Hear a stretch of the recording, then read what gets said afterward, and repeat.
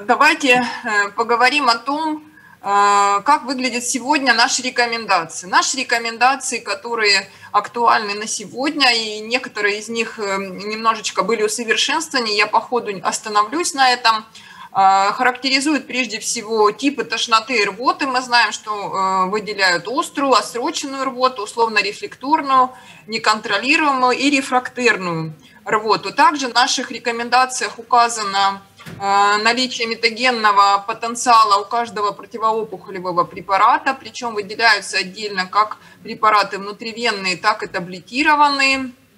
И, конечно, обращаем мы внимание на то, что метагенность комбинированного режима химиотерапии определяется препаратом, который имеет наибольший метагенный потенциал, а комбинация умеренно метагенных э, препаратов может повышать и метагенность режима в целом. И вот э, в таком ключе выглядят наши рекомендации, которые перечисляют все препараты э, по уровню эметогенности высокий, эм, э, когда рвота возникает более чем у 90% больных умеренной, эметогенные реакции от 30 до 90% больных низкие от 10 до 30% и минимальные менее 10%. Э, также в рекомендациях указывается на группы препаратов и препараты, которые помогают корректировать это осложнение.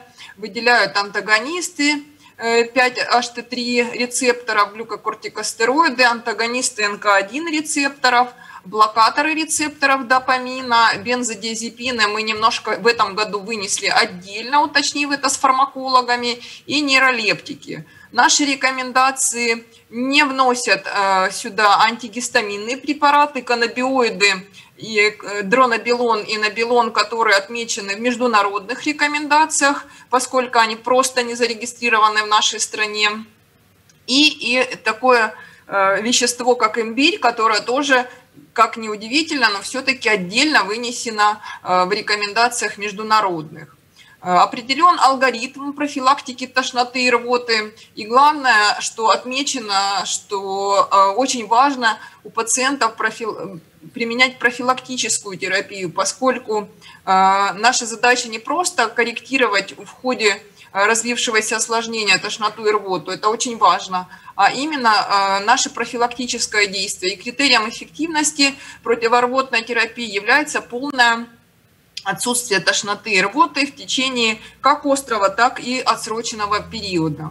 Далее наши рекомендации выделяют э, варианты э, проведения профилактики тошноты и рвота при однодневной высокоэмитогенной терапии, которая включает преимущественно в себя э, возможность проведения вплоть до четырехкомпонентной схемы.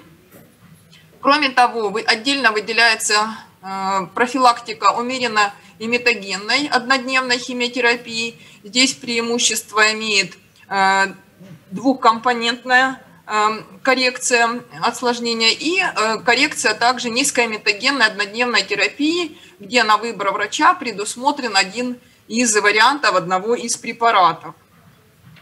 Возможность проведения профилактики тошноты и рвоты, возникающей при проведении лучевой терапии, также выделена в отдельный раздел – и отмечается, что профилактика, возникающая на фоне лучевой терапии, тошноты и рвоты, проводится с учетом зоны облучения. И также отдельно выделены разделы по возможности профилактики и лечения прорывной тошноты и рвоты, профилактику и терапию условно-рефлекторной рвоты и терапия неконтролируемой тошноты и рвоты, в котором изложены все возможности фармакологической коррекции – Э, этих осложнений с использованием ряда лекарственных препаратов. Э, в чем же проблема на сегодня? Проблема в том, что если мы посмотрим на э, те препараты, которые у нас есть в арсенале, из которых состоит трехкомпонентные схемы, четырехкомпонентные схемы, то мы увидим, что ряд препаратов, они не являются жизненно важными препаратами, они здесь выделены красным цветом, а другая часть препаратов весьма Э, достаточно весомая, э, она здесь выделена зеленым, это использование препаратов off-label. И в такой ситуации, работая в системе ОМС, мы понимаем, насколько для нас сложно является назначение этих препаратов, поскольку нам нужно проводить ВК. Иногда бывает, что стоимость проведения коррекции несколько превышает даже стоимость проведенного лечения, такое встречается. И поэтому, учитывая многие обращения наших коллег, наши рекомендации были изложены в одном из последних вариантов в качестве опционных. То есть мы не давали директивных, однозначных, жестких рекомендаций, а подошли к формулировкам, вот как мы видим, здесь выделено «возможно», «допустимо», «может быть» и так далее. То есть мы э, ориентируемся на то международное э, на те международные рекомендации, которые есть, но мы предполагаем, что все-таки возможность э, врачебных назначений, они являются в приоритете, и наши пациенты э, будут ориентированы, э, будут откорректированы с учетом все-таки возможностей и тех, которые есть у врачей. И таким образом мы подошли к тому вопросу, который действительно является актуальным на сегодня относительно препаратов нежизненно важных и off-label, которые входят в состав трех и четырех компонентных схем и тех формулировок, которые мы используем в наших рекомендациях. Нужны ли в наших рекомендациях все-таки жесткие формулировки об использовании препаратов, в том числе нежизненно важных и off-label, или все-таки лучше эти рекомендации вот такие, как у нас есть сейчас, с опционным выбором этих препаратов, поскольку мы вот знаем особенности назначения через ВК, их стоимость и так далее. И первый вариант ответа – это да, нужны жесткие формулировки, и второй вариант – это нет, нужны опционные. Пожалуйста, мы просим э, вас проголосовать. Голосование уже запущено. Голосуем.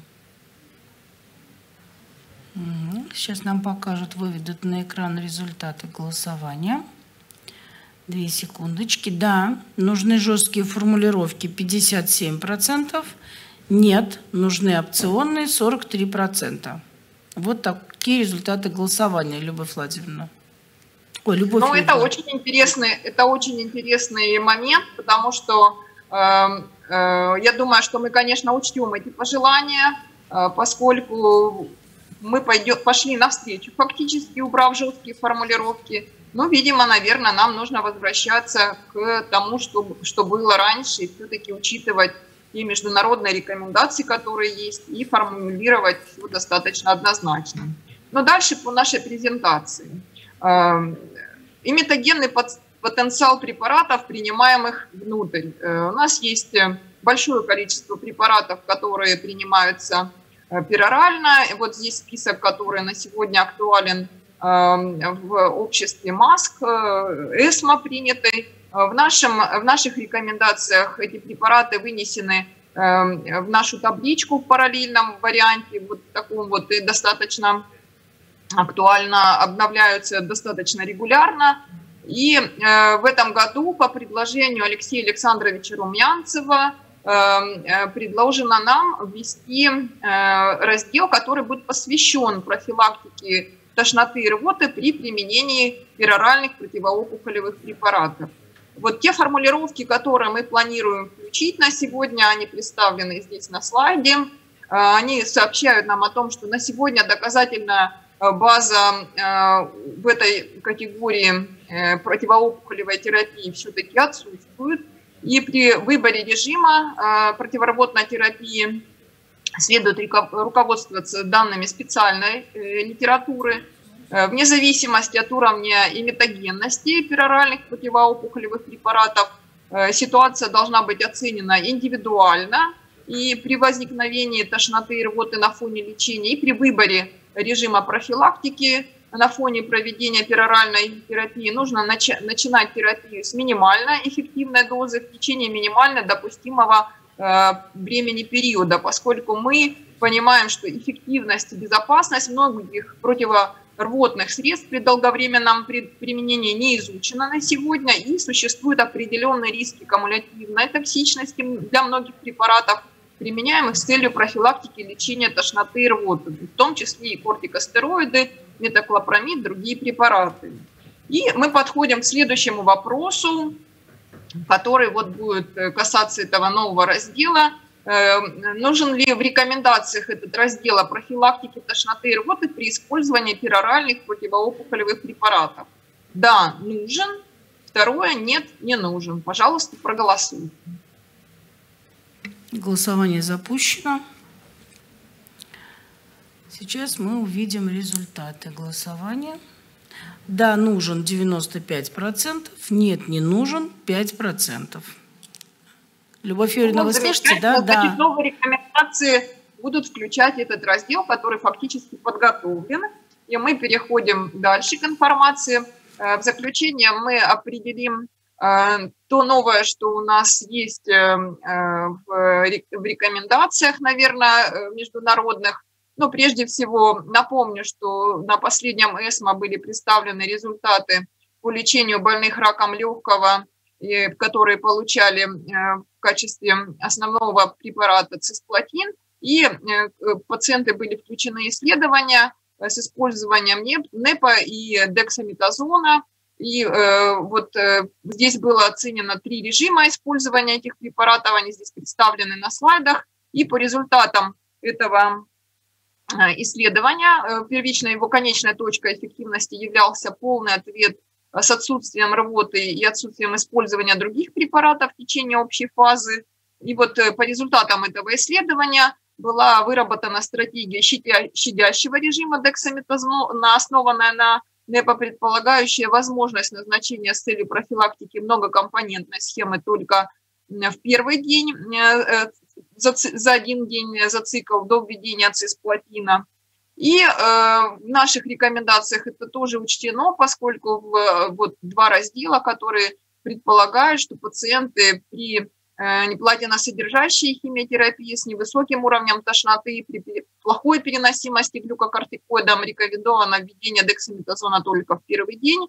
Пациенты с непереносимостью э, глюкокортикоида могут э, заменить, заменить терапию дексаметазоном на ланзапин. И второй третий день лечения дексаметазона может быть назначен при наличии э, тошноты и рвоты э, на усмотрение лечащего врача. И еще один интересный момент, который обсуждается в последнее время, это использование антагонистов НК1 рецепторов при карбоплатин содержащих режимах, поскольку было показано в ряде исследований, что их использование позволяет значительно э, уменьшить осложнения в виде тошноты и рвоты при использовании. В наших международных рекомендациях э, карбоплатин вынесен отдельно, как мы видим, и в наших рекомендациях он внесен э, при наличии АУК более четырех вот в таком виде. То есть мы это все учитываем, но он внесен в общий список препаратов. Эм, вопрос заключается в том, как, по вашему мнению, нужно ли отдельно выносить рекомендации по карбоплатин содержащим режимам, как это вот представлено в международных, или достаточно того, что мы внесли карбоплатин, САУ больше четырех, в высокоэмитогенные, э, э, высокоэмитогенные препараты. Вот ответы э, на вопрос. Первый – это «да, нужно» и «нет, не нужно». Голосование запущено, организаторы мне сообщили. Пожалуйста, голосуйте. Результаты голосования, да, нужно. То есть включать по платин содержащим режимам, выносить их отдельно, да, нужно 73%, нет, не нужно 27%. Хорошо, спасибо. И, собственно говоря, заключающий слайд, он касается также одного из новых исследований, связанных с использованием оральных каннабиоидов, которые в нашей ситуации, в принципе, их использовать э, мы не сможем, поскольку у нас нет таких препаратов зарегистрированных. Но в этом исследовании было показано, что они помогают э, достигнуть полного контроля над тошнотой и рвотой и приводят к отсутствию неплановых назначений. Но это чисто в плане информации, поскольку это является одним из новых сведений, которые были получены в э, последнее, последнее время по противорвотной терапии. На этом я заканчиваю. Благодарю всех за внимание, благодарю всех за голосование, за активное участие. Спасибо всем.